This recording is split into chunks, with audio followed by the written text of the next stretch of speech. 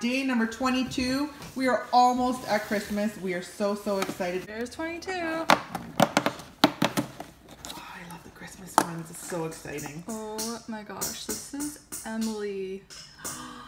Look at that. Presents, the stocking. What are your guys' wishes for Christmas? Comment below and let us know. So the first customer that spends over $100 will get this awesome mini. Thanks for watching.